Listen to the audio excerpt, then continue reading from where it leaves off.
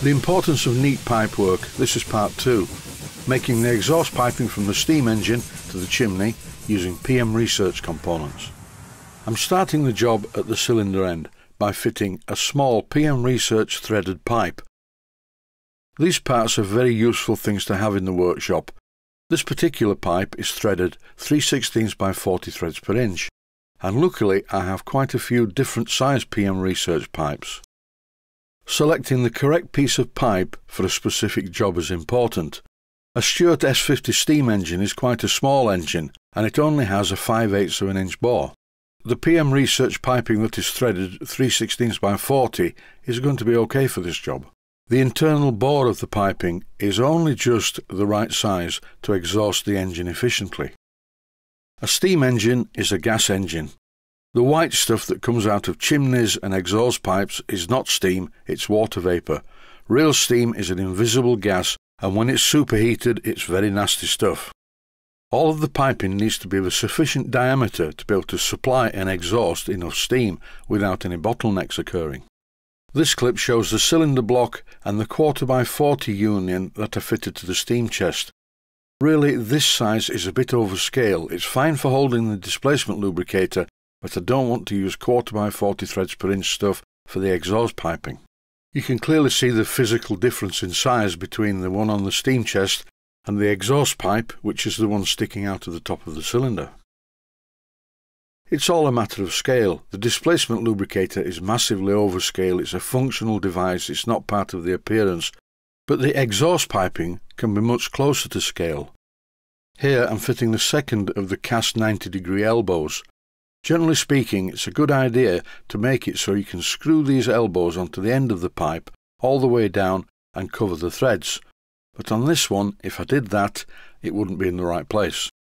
Rightly or wrongly, my friend Dennis, who's not really a steam enthusiast, assembled the engine and boiler on a piece of board in a position where there's no room at all for an exhaust condenser, so the exhaust pipe will have to go straight up the chimney. This is going to be a very simple steam plant. There's not even a hand pump to refill the boiler. It's going to be a little bit like a Mamod.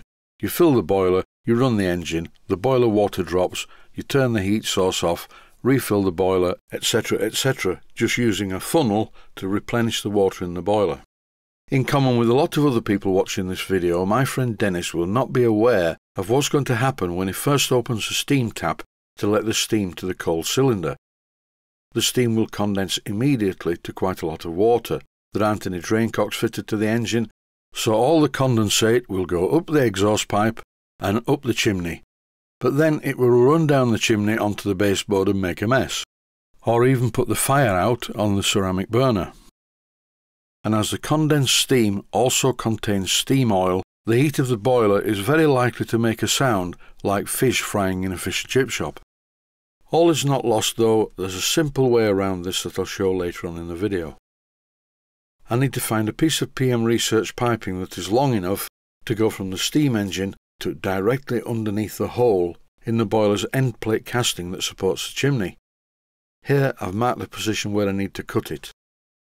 The length of this pipe needs to be a bit longer than you would think to accommodate the threads that I'm going to cut on it in the lathe.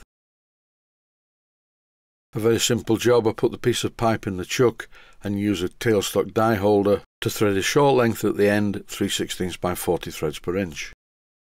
Here I'm starting the fitting of the cast elbow using a pair of pliers, which is not very good practice. I normally use my Bahco spanner.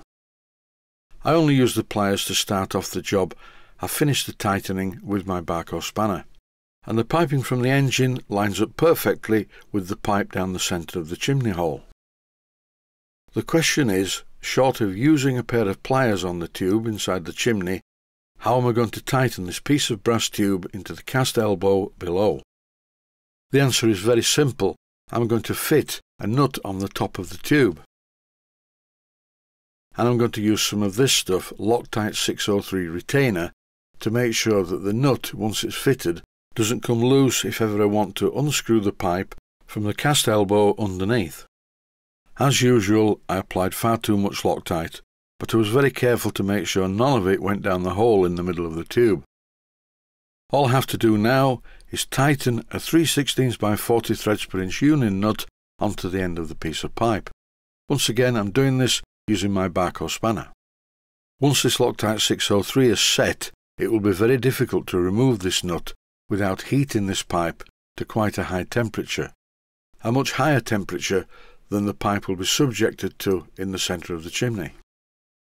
You don't need a big blast up the chimney on a gas-fired boiler system, so this pipe also does that. Because it's nearer the top, there's less pull up the chimney and it's not drawing too much air over the burner.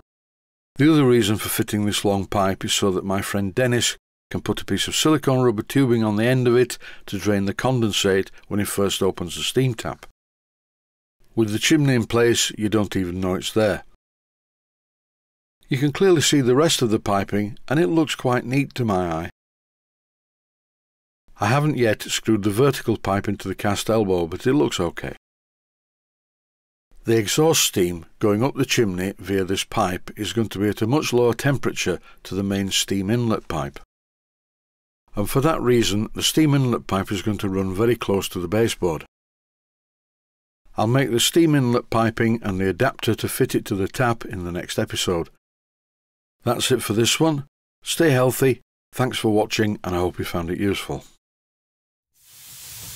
Please take the time to visit my Mainsteam Models website and click on the section of the website that says Video Playlists. And by doing that, you can find other videos that you may like to watch. And by using the playlists, you can actually watch the videos back to back.